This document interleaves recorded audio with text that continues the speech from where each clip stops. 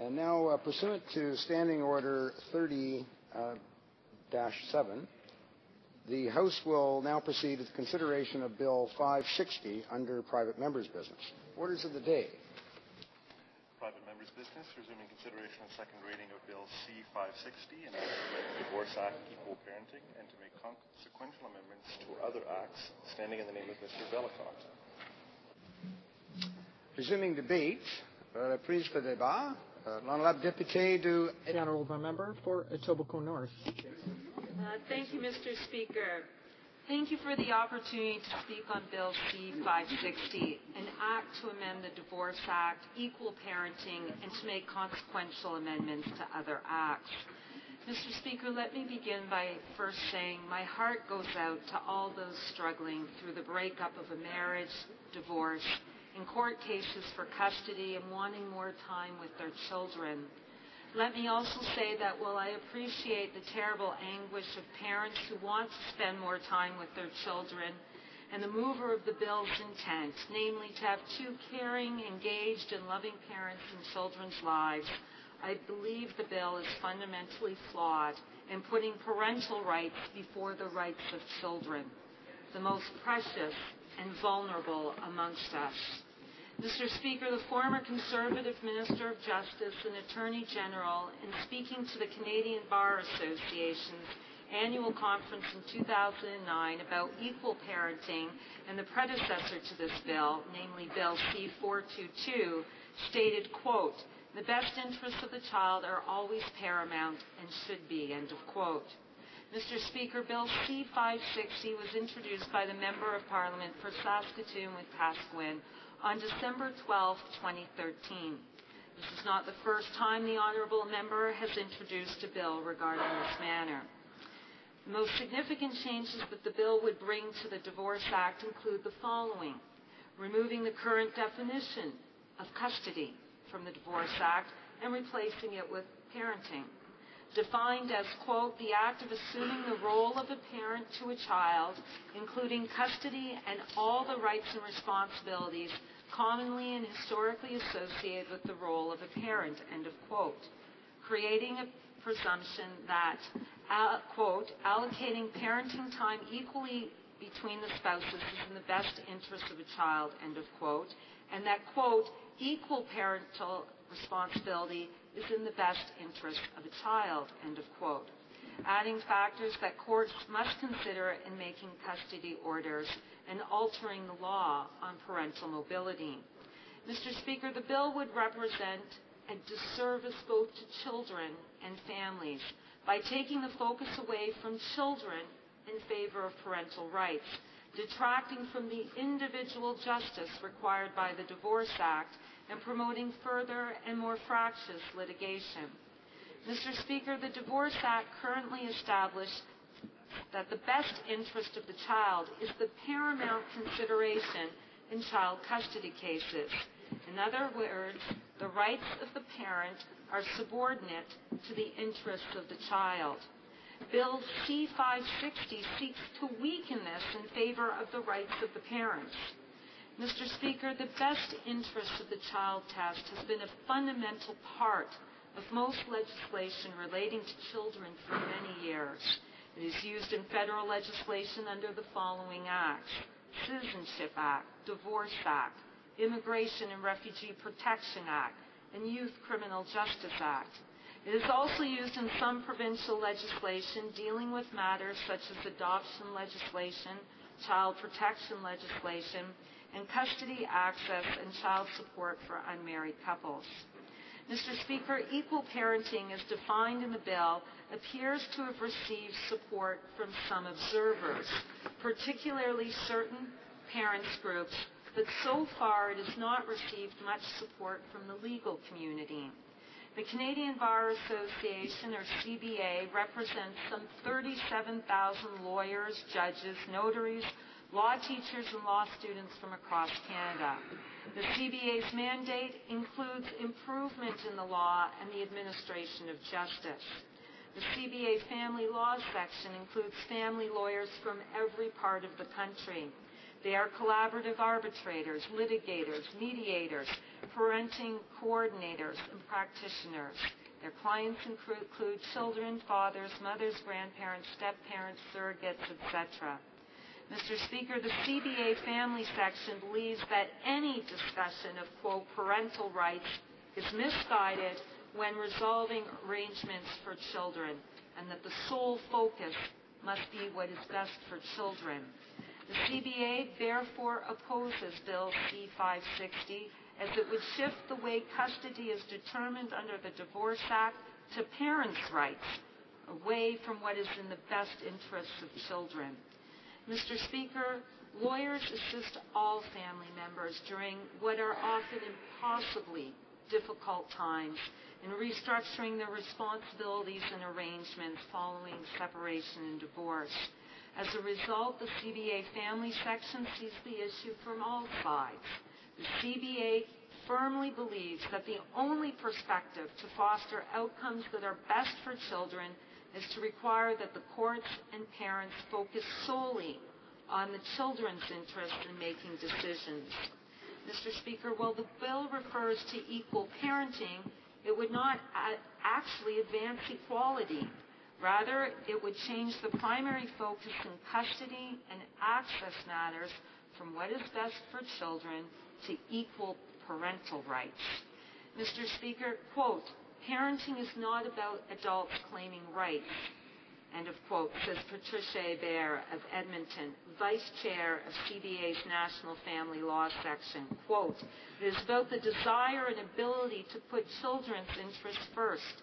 End of quote.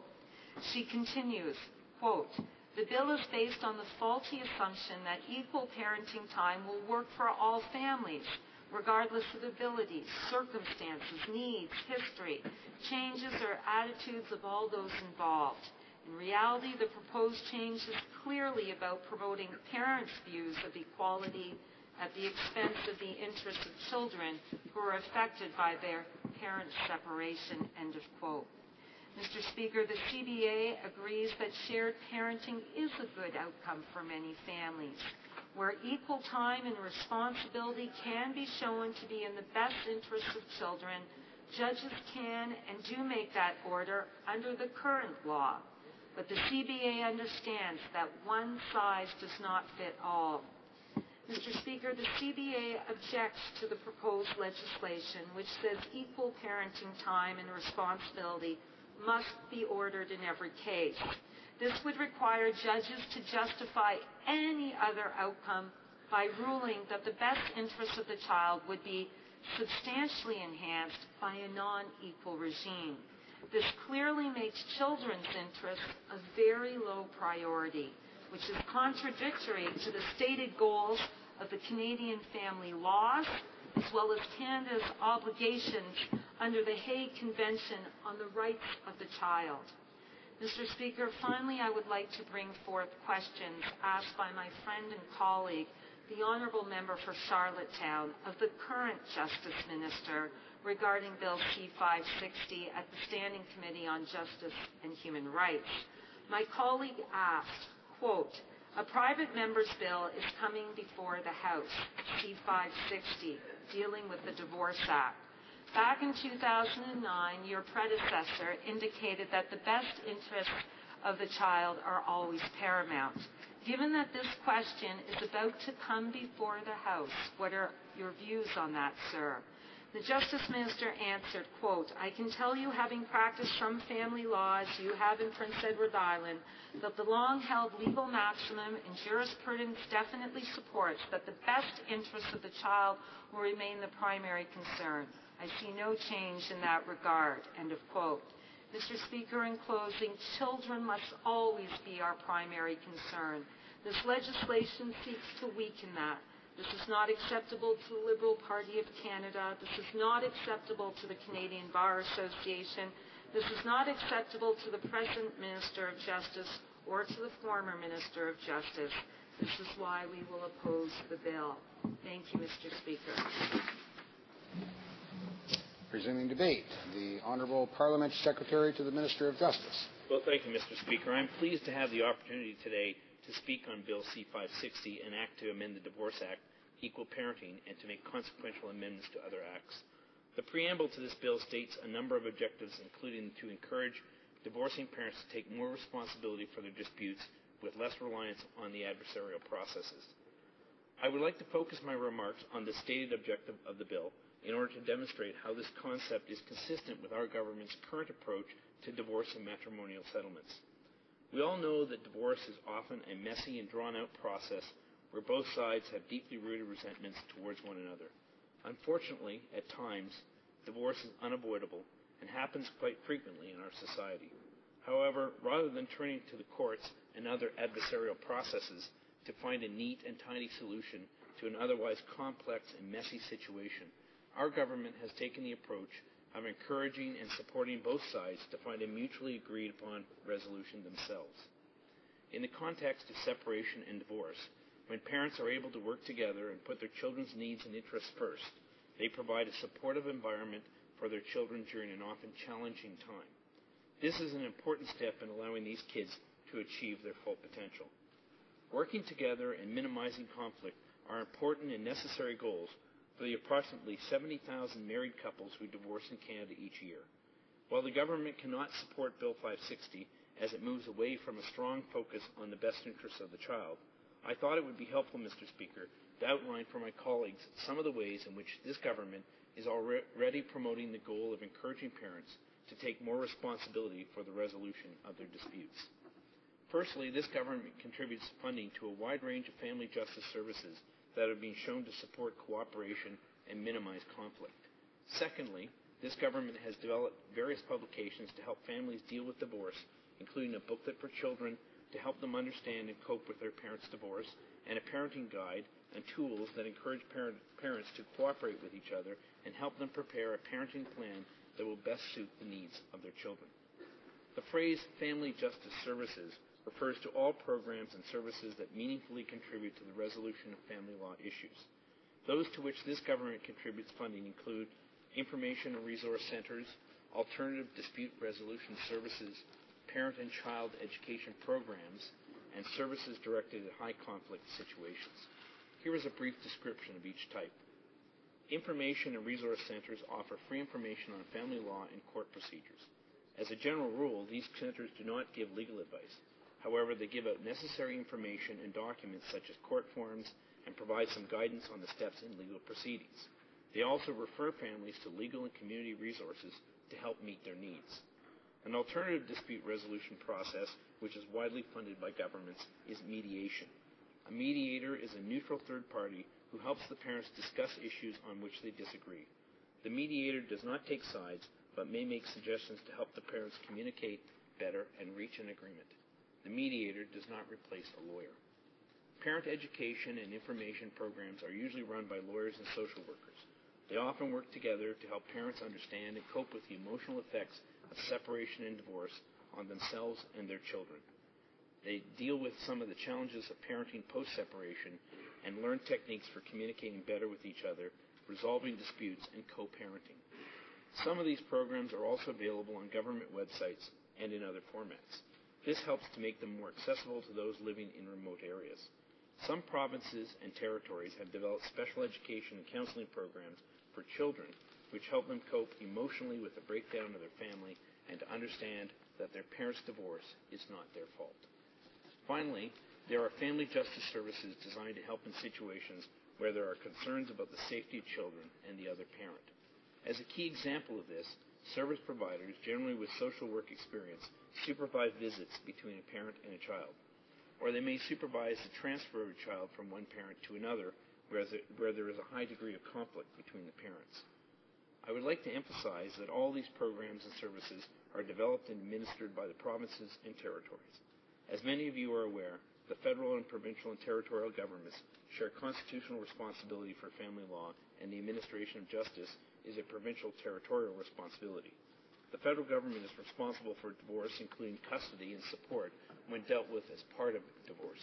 In all other situations, the provincial and territorial governments are responsible for custody and support.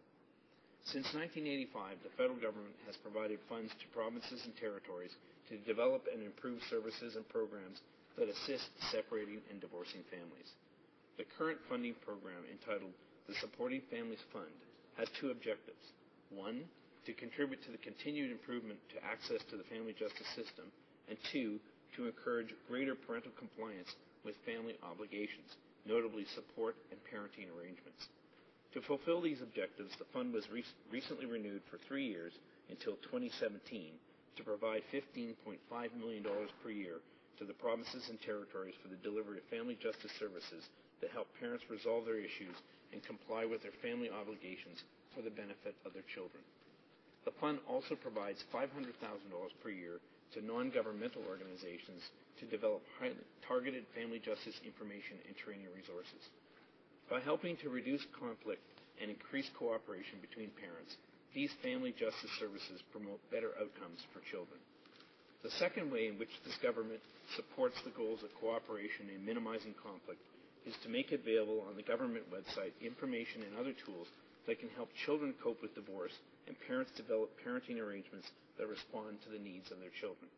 The government recognizes that children need information as well as adults and developed What Happens Next, a booklet for children between the ages of 9 to 12 whose parents are separating or divorcing. It gives them basic explanations of key legal terms and also discusses the emotions that they may be feeling. The children's calendar helps children keep track of their schedule and important dates as they move between houses. The guide entitled Making Plans gives parents information about issues they need to address when developing parenting arrangements, including a schedule for the time children will be under the care of each parent. It also suggests processes that parents can use to agree on a plan, such as mediation, negotiation, and collaborative law, and provides tips on how to include their child's perspective. This guide promotes agreement between parents by emphasizing the importance of communicating, reducing conflict, and building a, co- a cooperating relationship that focuses on the best interests of the child. The Parenting Plan tool is a companion to Making Plans. It is a practical guide with sample clauses to help parents develop a written parenting plan setting out their parenting arrangement. Finally, the federal government worked with our colleagues in the provinces and territories to develop a parenting plan checklist to help parents identify issues to consider when developing a parenting plan. Mr. Speaker, the need for public legal education and information materials such as these, as well as for family justice services, is widely recognized. Recently, the Action Committee on Access to Civil and Family Justice, a group broadly representative of leaders across Canada in the field of civil and family justice and chaired by the Supreme Court of Canada Justice Thomas Cromwell, emphasized the value of front-end services such as those family justice services funded by this government, and especially those that include live help. It noted that it is widely recognized that the provision of services early in a dispute helps to minimize both the cost and duration of the dispute, and thus to mitigate the possibility of protracted conflict and the corresponding harm to family relationships. The committee were equally, equally adamant that the more that families can effectively take responsibility for the resolution of their own disputes, the better. However, this push towards family autonomy must be balanced by a corresponding public obligation to ensure that these families are given appropriate help in doing so. I want to reassure the House, Mr. Speaker, that we take the public obligation seriously. That is why I've taken the time to explain today some of the ways that we are contributing to high quality front end services that support the many Canadian families experiencing family breakdown. I've highlighted the Supporting Families Fund and the development of public legal education and information materials. Further, the government will review the custody and access provisions of the Divorce Act, and in doing so, will consider how it can further encourage parents to rely less on adversarial processes and focus on the needs of their children. Thank you, Mr. Speaker. Resuming debate, the honourable member for Halifax. Thank you, Mr. Speaker. Um, thanks very much. I'm ready. So this bill that we have before us, um, I went to law school. I went to Dalhousie Law School, and I started in 2001. And when I was there in my second year, I got to take family law with the great Rollie Thompson, uh, one of the foremost thinkers on family law in Canada. Uh, if he's watching right now, he's laughing, laughing out loud at home because I said that. But he is. He's a great thinker when it comes to family law, and I was really lucky to have a, a class to be able to take that class with him. And one of the main one thing that he drilled into our heads over and over and over again yes, it's the law, but he made sure we fully understood what it meant, and that was the best interests of the child. Uh, and, and we talked about all different scenarios and we talked about different hypotheticals and what would you do? You have this case in front of you. You're a judge. How do you make that decision?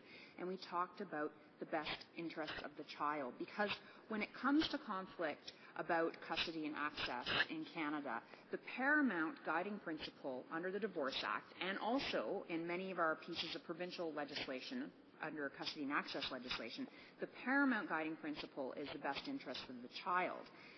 What does that mean? It doesn't mean mom. It doesn't mean dad. It doesn't mean grandparents. It's the best interest of the child. And I point out that it also doesn't mean children.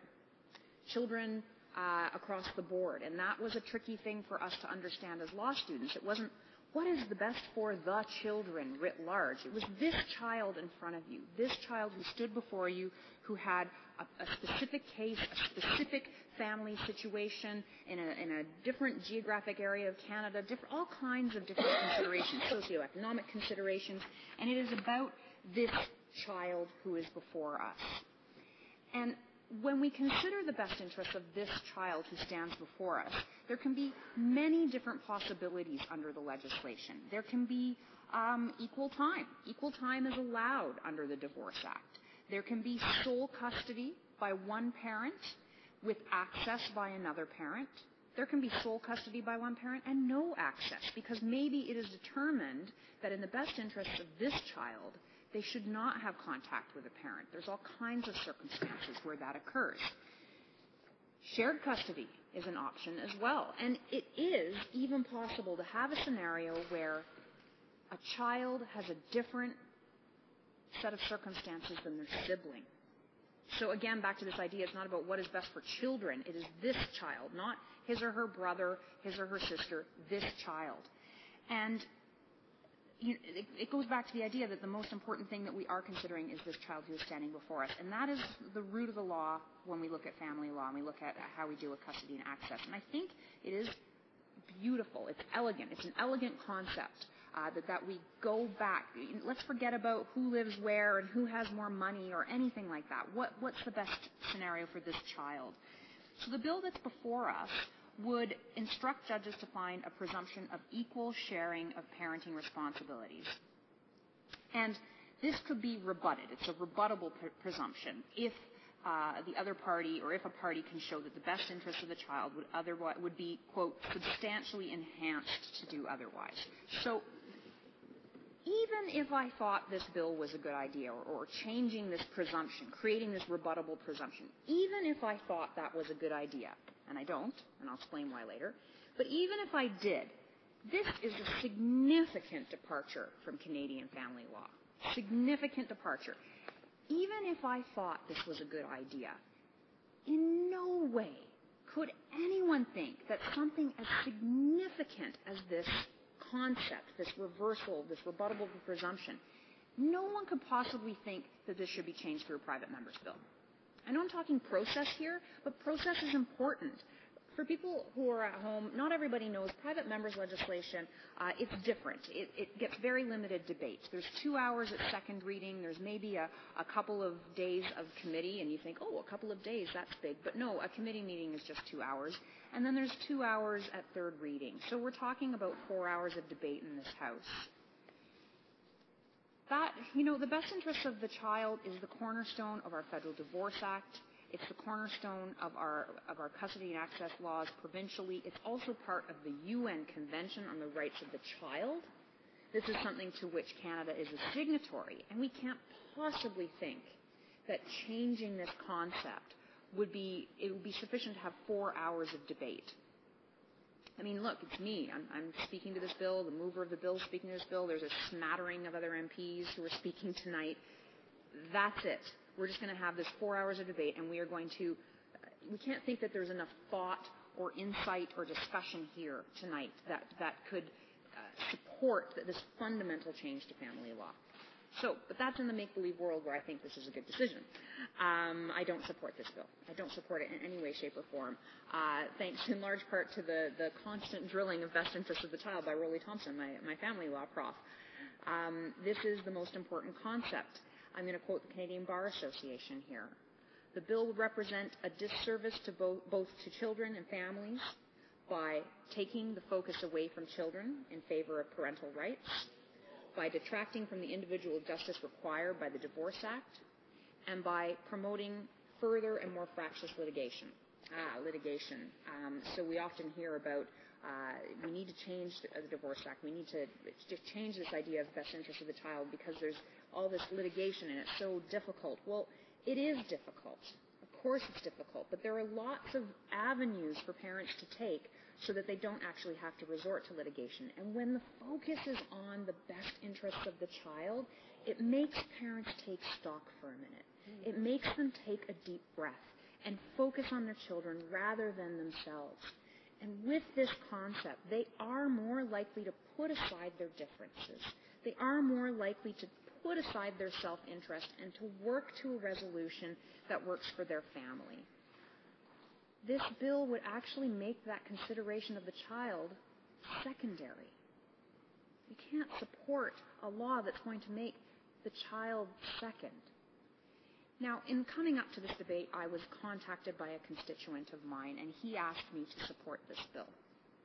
Uh, and he shared a heartbreaking story, a, a, truly heartbreaking story of his situation with his ex-partner and uh, and kids, ex-spouse and kids. And he told me about how uh, sole custody was used as a weapon against him uh, and held out as a reward uh, for his ex-spouse.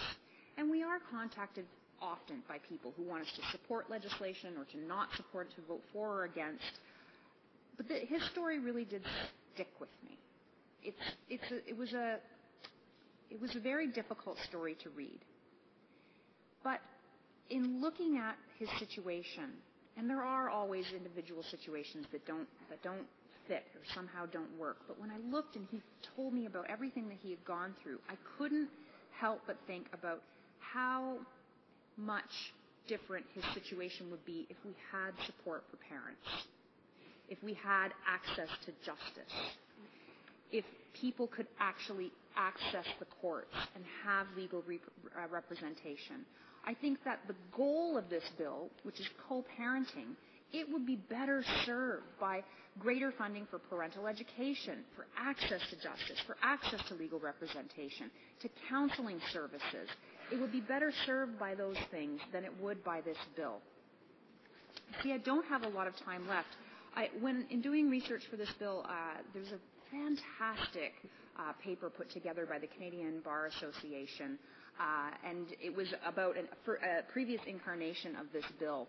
And uh, I remember when, when this bill was first introduced, in, or maybe it wasn't first, but in the last Parliament, I was Deputy Justice Critic with uh, my colleague from Windsor, Tecumseh, who was Justice Critic, and, and we met with lots of folks to talk about what the implications of this bill would be. And I will say this CBA discussion paper is fantastic. I wanted to quote from it, but I probably don't have a lot. I'm going to make one quote. I think I got 30 seconds. Um, they talk about this committee that existed in Parliament, a special joint committee on child access, custody, and access.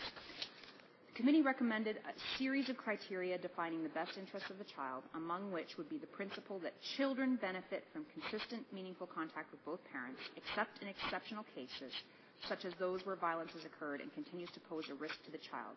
Whether an equal time sharing arrangement is in the interest of a particular child would have to be determined on a case by case basis with a full evaluation of the child's and parents' circumstances. And so the committee said that the, the legislation that imposes or presumes joint custody as the automatic arrangement for divorcing families would ignore that this might not be suitable for all families, especially those with a history of domestic violence or very disparate parenting roles. I know my time's up. Thanks for uh, being a little bit lenient, I think. Resuming debate, the honourable member for Vegreville Wainwright. Thank you very much, uh, Mr. Speaker, and I'm pleased to speak this evening to Bill C-560, although, Mr. Speaker, I must admit uh, it's not a fun uh, topic to deal with, and I've certainly had all too many, usually young fathers, come to me in, states of depression and desperation because they've been denied access to their child or given very limited access to their child because of a divorce and because of a, a bad decision uh, made by the courts and by our justice system. Bill C-560 will amend the Divorce Act to direct the courts to make equal shared parenting the presumptive arrangement for children following divorce of their parents, except in proven cases of abuse or neglect. The key point of this legislation is that when the parents divorce each other, they do not divorce their children. These amendments will keep both parents in the lives of more children in those cases where marriages break down. Bill C-560 requires parents to cooperate in establishing equal shared parenting unless they can make a credible, compelling case that this would not be in the best interest of the child. And I've heard many tonight, uh, Mr. Uh, Speaker, uh, many lawyers, uh, not all lawyers, but uh, who have said that they favor a system where decisions are made based on the best interest of a child. Well, Mr. Speaker, the simple truth is that a child having both parents is what is in the best interest of the child in most cases. Too often, far too often, cases are being decided by our courts that do not make decisions which are in the best interest of the child. And I, I believe, Mr. Speaker, that the law is an ass, so to speak, in far too many cases. And I've seen the fallout of that, and it isn't fun, Mr. Speaker. And there's nothing, I think, that wrenches at your gut and strikes at your heart in a negative way, uh, more so than a parent, again, usually a young father who's being denied access uh, to their child, Mr. Speaker, for, for no good reason. Not because they're any threat to the child, but because of a bad court decision. I believe, Mr. Speaker, this legislation would certainly uh, make, make the outcome positive in far more cases. Just over half of the number of divorcing couples today, Mr. Speaker, make their own arrangements for seeing their children without needing court intervention. For those who do need to use family courts, an equal shared parenting presumption will eliminate a key incentive for acrimonious conflict.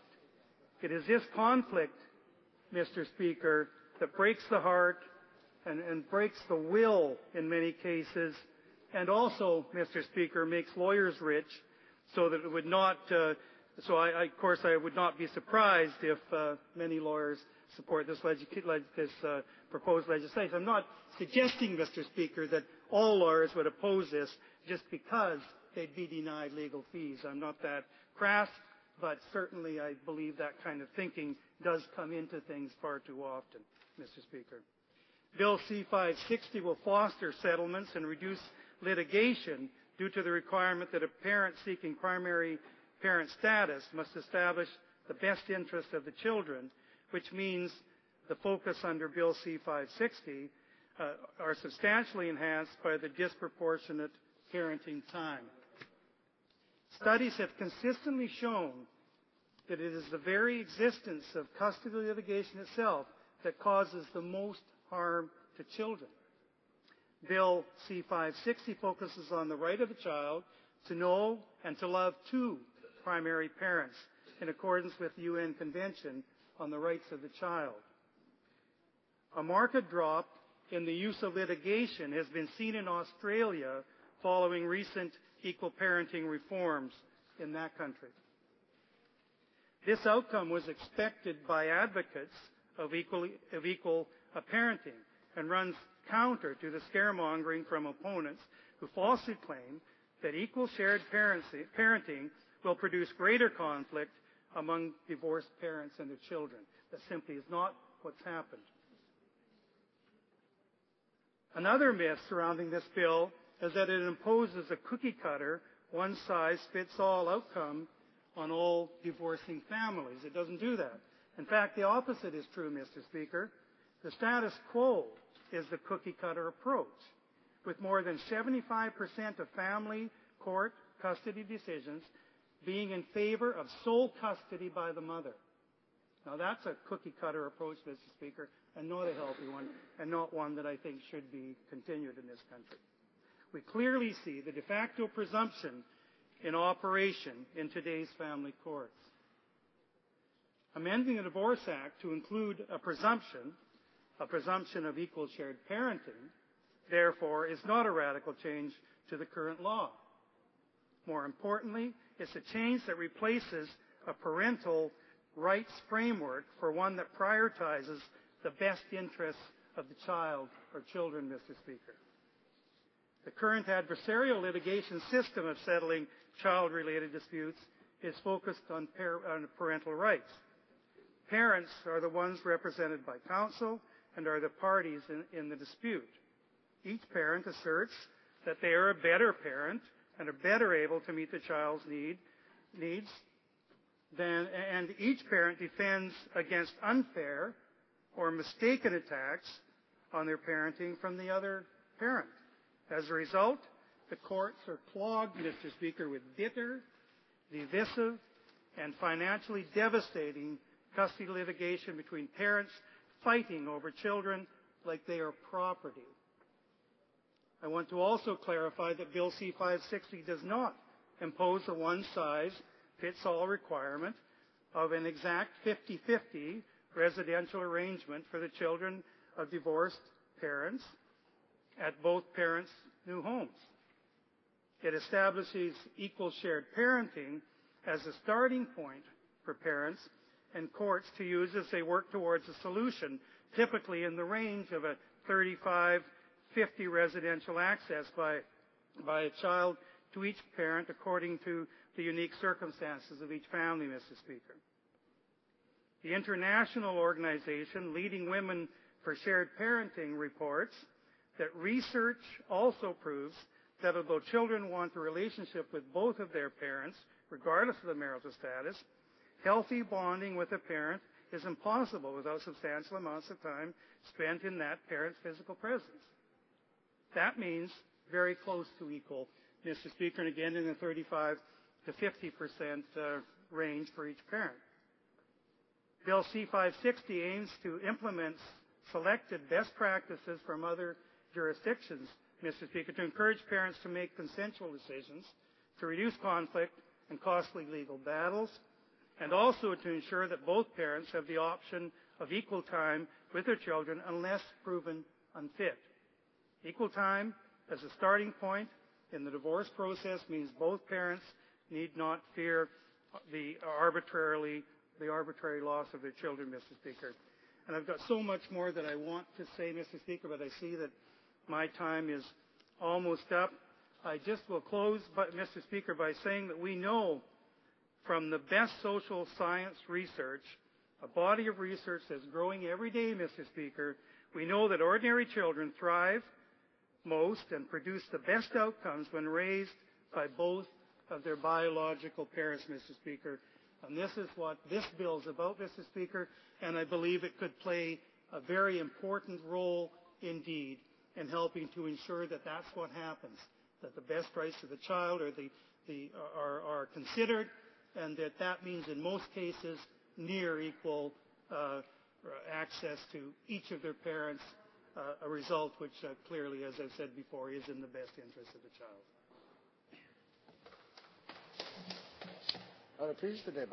Resuming debate, the Honourable Member for Charlesbourg-Haute-Saint-Charles.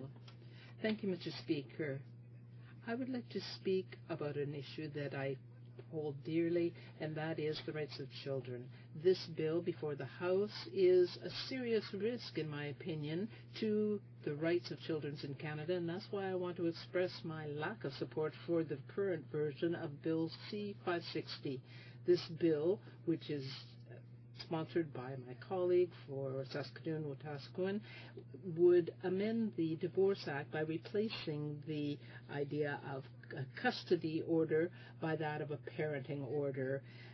It would require judges to apply the principle of equal sharing of parenting, except where there is a demonstrated interest in doing things otherwise and in to help the child. This change in the legislation, which seems innocuous at first glance, has major consequences for thousands of families in Canada. the main effect of the law, of the new bill, would be to put the parents' interests ahead of the children's interests when there is a parenting order. I feel that it is essential to keep the child's interest as the primary consideration when judges are looking at custody. I also support the Quebec Bar Association's opinion that was issued and is opposed to Bill C-560. I would like to uh, give the members an indication of what they put in their letter to the member who sponsored this bill. They, I still hope that the member will take into consideration the expertise and the views that are in this letter. The Quebec Bar Association, through its head, has said that the bill is a follow-up version of what was introduced in 2002 and then in 2003 that also called for equal parenting. There were consultations over more than a decade on this issue. In 2001, the Quebec Bar prepared a brief and the government's final report on custody and child support for children called the Children First and another bill were the result of this consultation. And one of the main conclusions from the consultation was that the needs of the children when it comes to custody needed to be uh, more important than the principle of maximum contact. The conclusion was shared by most of those who were consulted, and there were many groups and legal experts consulted across Canada.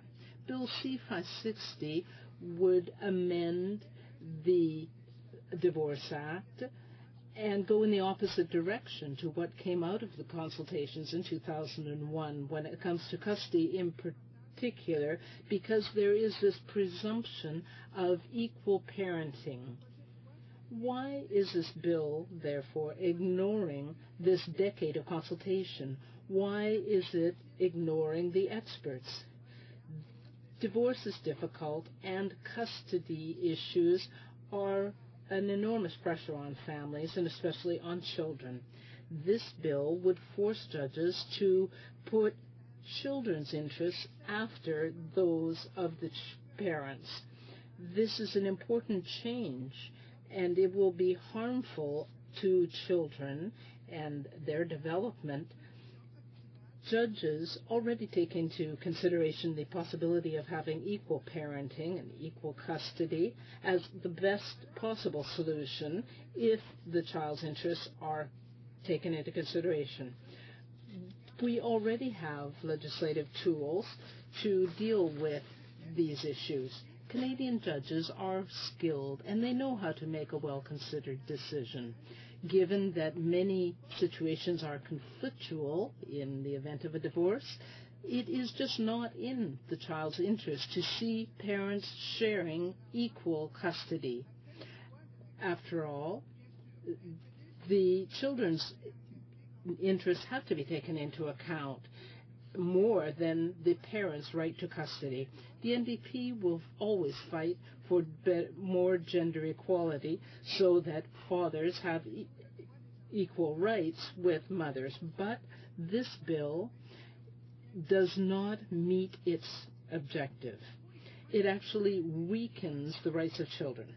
We need also to avoid putting uh, parents in a situation where when they are at their most vulnerable, they take advantage of a legislative change like this. One member of the couple might use custody as a way to attack the other person. This is a selfish response, and it doesn't take into account the interests of the children. This is why I support what the Quebec Bar Association has said that is, that the children's interests have to take priority. I would like to also mention the family law section of the Canadian Bar Association that has also indicated that parents' rights have taken priority in this legislation. The association also has said that the role of parents does not have anything to do with their rights as of the adults, that parenting should be about the children's interests, that this bill is based on a wrong premise and that shared parenting, equal parenting, is not necessarily right for all families in all situations. This change promotes the point of view of parents more than it does that of children, and it will have an impact on children. I hope that my colleagues will also take into consideration these expert views. I would also like to express my concern about two other aspects of this bill. There may be changes made to existing custody orders under the legislation. From what I understand, all custody orders, sole custody orders, can be reviewed by a court and then have to apply the presumption of shared parenting. This gives retroactive power that is inappropriate.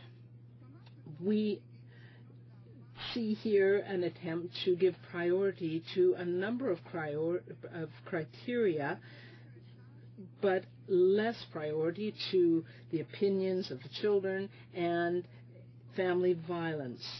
This doesn't make sense because this is not what is done in other Western countries.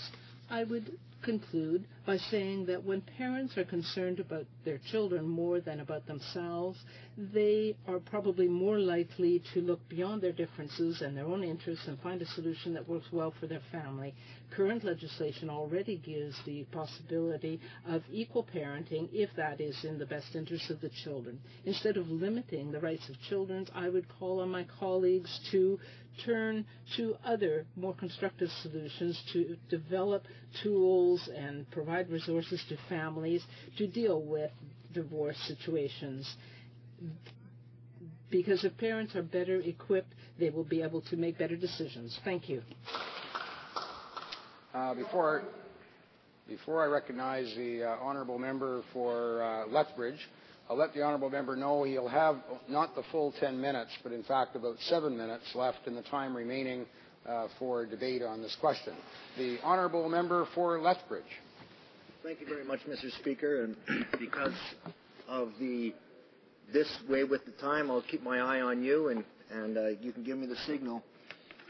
But I feel like I will be able to talk for the full five to seven minutes or whatever I have on Bill C-560 and I'm speaking in support of the bill, which is the bill to amend the Divorce Act to make equal shared parenting the presumptive arrangement for children following the divorce of their parents, except in proven cases of abuse or neglect.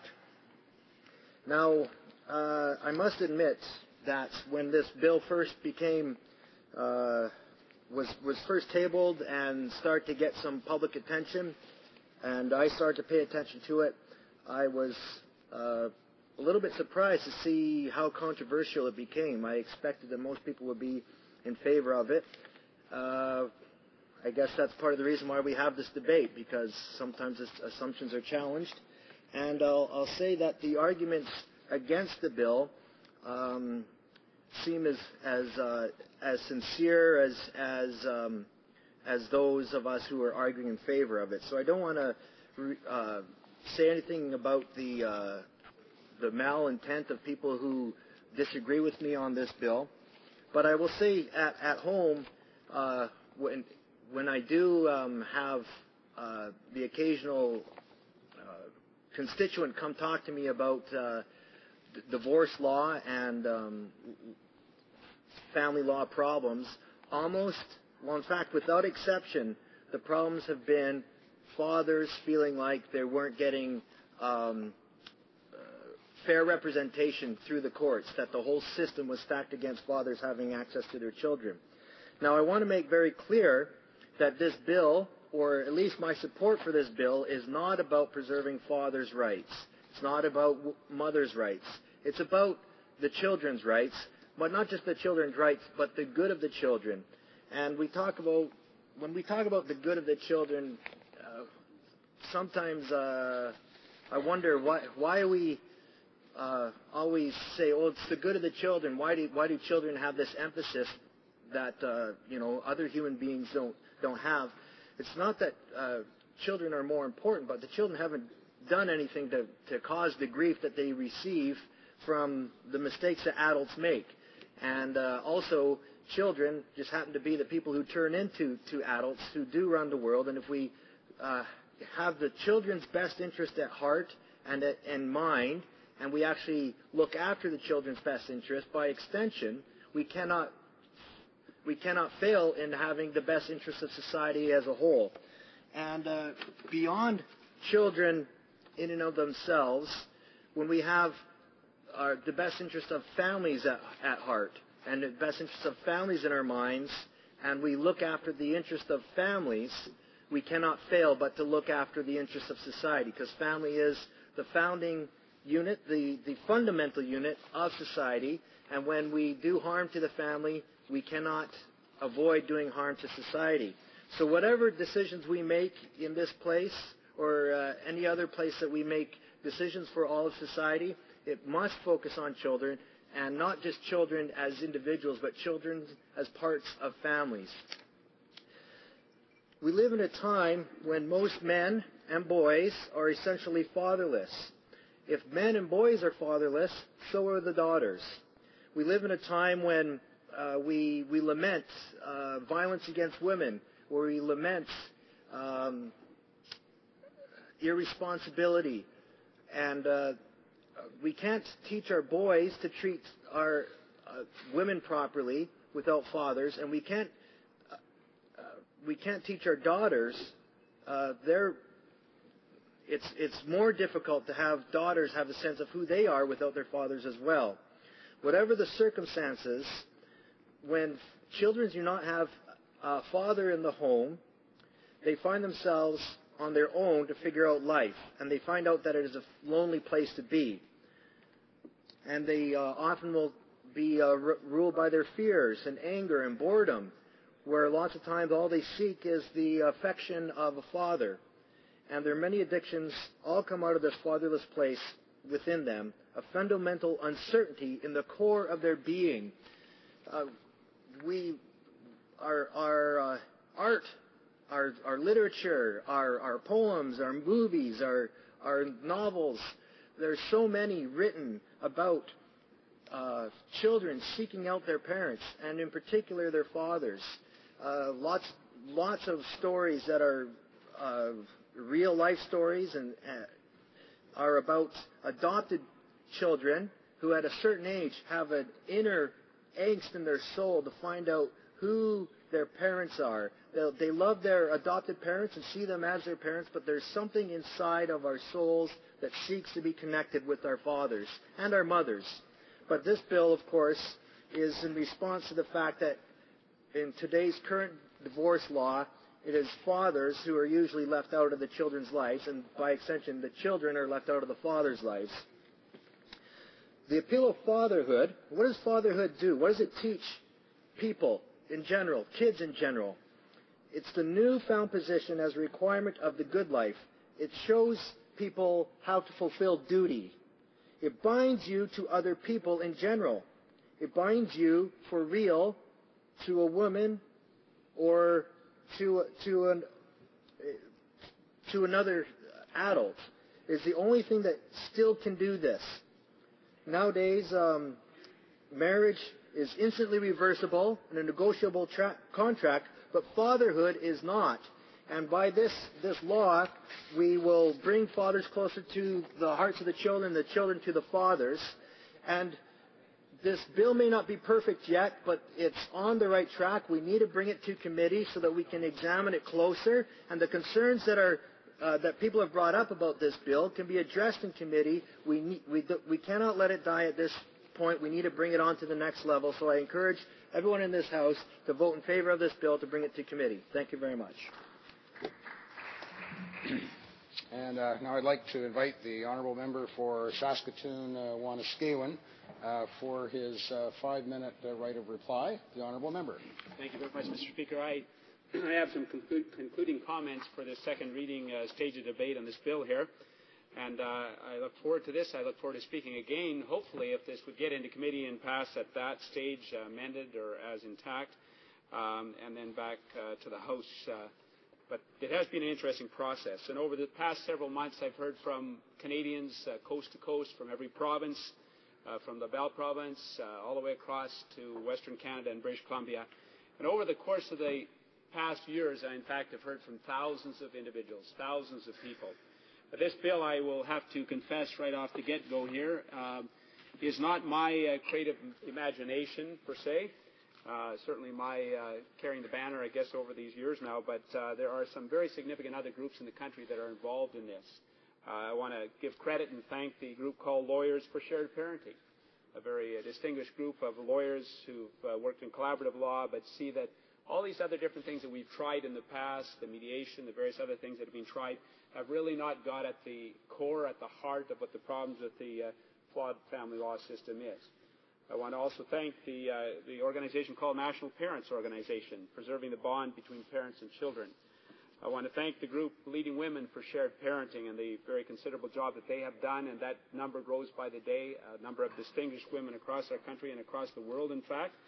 And then, uh, most, uh, most of all, I want to give thanks to the uh, very broad umbrella group called Canadian Equal Parenting Council, which is, uh, comprises an umbrella group for about uh, I think it's 35 to 40 different uh, groups across the country. Of, co- of course, those all have their own individual chapters too, so it's a very sizable number of people represented in these groups here.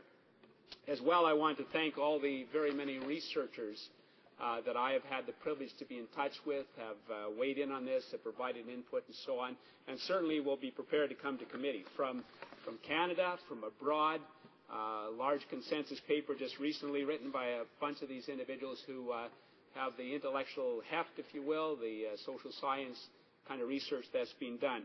And that is coming at us in an avalanche, my friends. Uh, we now begin to better understand what the best interests of children are, adding, adding already to those uh, different uh, criteria or parameters that there are in the courts across the provinces here. And particularly the fact that children want to love and be loved by both parents. United Nations Convention on the Rights of the Child talks about that very, very necessary thing. Longtime supporters of the New Democratic Party, the Liberals, the Conservatives, the Bloc Québécois, and the Green Party from every region across this country, uh, those individuals have been calling their elected representative to stand up for the best interests of Canada's children of divorce by voting in favour of Bill C-560. And so, Mr. Speaker, I want to make the point uh, resoundingly that across party lines, across this entire country, the polling over a number of polls over the last years uh, shows that at least 80% and upward, or just hovering underneath, about 79%, uh, in all provinces, by all parties represented in this House, and by both genders. In fact, it's uh, slightly more. It's above 80% uh, for men and about 80, just about a 1% or 2% more for women. And you might say, well, why women even more than men supportive of this equal shared parenting uh, bill or this concept? And it's because those men and women marry again or they have another partner. And this, this issue of uh, children and their children being able to have access to them, of course, consumes them and also creates some different dynamics in those relationships as well. It's in fact the current adversarial litigation system of, of settling child-related disputes that's focused on parental rights. It's about winning the boat, winning the car, the house, the battle over the children. So the present system is a very adversarial system focused on the rights of the parents, whereas this bill is focused on the rights of the children. It will actually foster settlements, reduce the litigation, and so on in the best interest of children. So my hope, uh, friends, today is that um, we've had discussion about the myth of the 50-50. It's actually a 35 to 50 percent range. Uh, we've talked about um, how this is not a cookie, cookie uh, cutter one size fits all, but there are variations, arrangements that can be made. but it's to drive it to the best interest of children so that they have access to both mom and dad aside from abuse or neglect. And so I would encourage my colleagues to read some of the good material that's been sent to them. Read the bill itself, not what the Canadian Bar Association is saying about the bill, but rather read the bill. Read the myths and fact document that many of you have been uh, circulated to. And uh, please help me to get this to committee where it can be looked at for further amendments, for adjustments, uh, so that we do the right thing. We do the best interest of children in the days ahead by way of passing this bill. Thank you. Uh, the question is as follows. Mr. Vellacott, seconded by Ms. O'Neill Gordon, moves that Bill C-560, an act to amend the Divorce Act, Equal Parenting, and to make consequential amendments to other acts, be now read a second time and referred to the Standing Committee on Justice and Human Rights. Is it the pleasure of the House to adopt the motion? All those in favor of the motion will please say yea. Yay! All those opposed will please say nay. In my opinion, the nays have it. Pursuant, uh, pursuant to Standing Order 93, the division stands deferred until Wednesday, May 28th, tomorrow, 2014, immediately before the time provided for private members' business.